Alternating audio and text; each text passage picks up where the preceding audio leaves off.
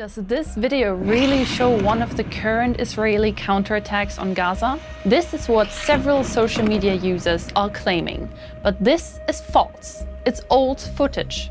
A quick reverse image search shows the video is not related to the current situation. It's a video of a tower block in Gaza being destroyed by a missile and it is from May 2021. It was aired by several international media outlets at the time. Hamas is a terrorist organization and is identified as such by the EU, the US, Germany, and a number of other countries. Since the Islamist terrorist organization Hamas attacked Israel on October 7, social media has been flooded with claims, photos, and videos about the ongoing situation, and many of them are false. The amount of disinformation, misinformation, uh, propaganda, confusion is as high as I've ever seen in any conflict.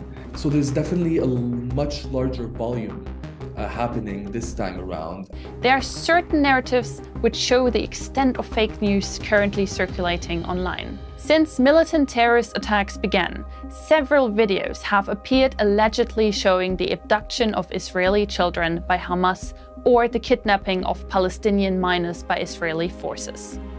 While some videos about children being harmed are true, many are false. Here's one example. Many social media users have shared this video, which claims Israelis are making fake videos which say Hamas has killed children.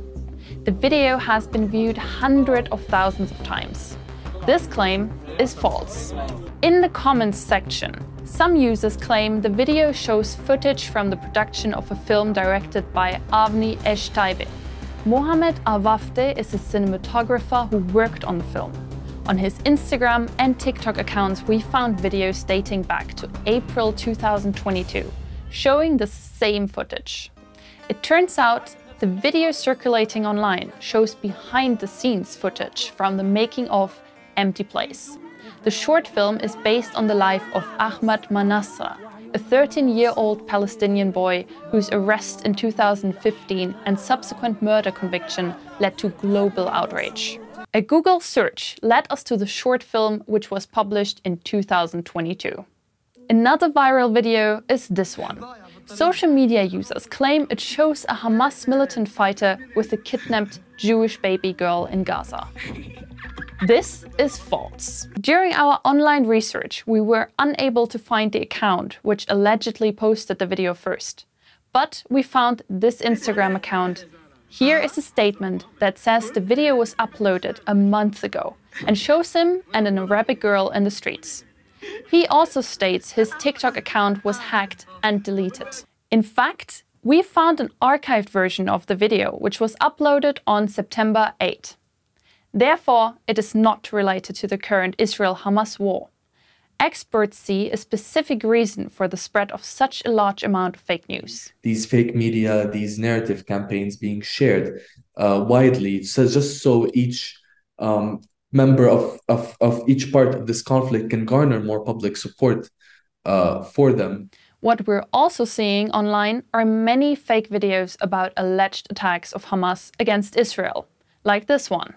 This video allegedly shows dozens of Hamas fighters paragliding into Israel. This is false. We are seeing a location in Egypt.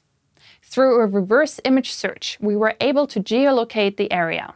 The white building in the background is a military academy in Cairo. If you look closely, you can also see an Egyptian flag on the building.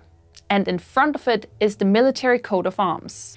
The alleged Palestinian paragliders are paratroopers, and they bear the Egyptian flag. We could not find the original clip, but the video most likely shows an Egyptian military exercise. While the US news agency Associated Press reported that there have been Hamas fighters entering as paragliders, this video doesn't document that situation. News about Israel, Gaza, and the terror organization Hamas continue to circulate globally as is the misinformation about reactions from some political leaders. A lot of videos show Russian President Vladimir Putin allegedly speaking about the situation in Israel, like this one. I am warning America to stay away from the Palestine Israel war. The video has thousands of views, but it's false. Through a reverse image search, we found the videos of Putin are old. They were originally published 10 months ago by several media outlets. We compared the videos shared on social media now with the video which was published back in December 2022. They are exactly the same. We asked a Russian speaker who confirmed the English translations of the videos on social media are false. Putin does not speak about the conflict in the Middle East. Putin speaks about the Russian Ukraine war and replies to a question about the country's potential use of nuclear weapons. These are only a few examples of the disinformation circulating about the Hamas attacks on Israel. There are many more, fueled by the algorithm and the policies of social media platforms. If you see more disinformation and propaganda circulating online, please send it to factchecking at dw.com.